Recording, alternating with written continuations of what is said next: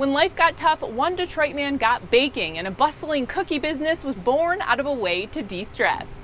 If there's one story where I wish viewers had smell-o-vision, how's that, that batter? This would be it. Come see the Oh yeah, yeah. Where absolutely. the magic happens? You can. Welcome to Good Cookies in Detroit. The name of the business should be Great Cookies. it's the culmination of the vision and talent of lifelong Detroiter Jeffrey Gisstennar. It started out as like kind of a, a, a life preserver um, because doing real estate it just was so stressful at the time when the market crashed, and I would come home and just and just bake. But good cookies don't stay secret for long. When did you think like, hey, maybe I've got something here?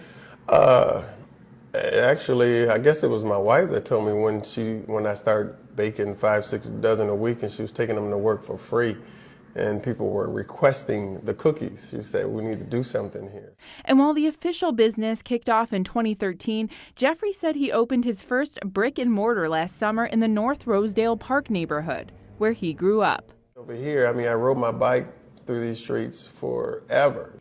And what is it about his cookies that has people stopping by even when they live out of state? I'm from Jacksonville, Florida, so every single time I come to Detroit, I don't care where I'm at, I could be in Ann Arbor, I'm coming to Detroit to get these cookies for sure.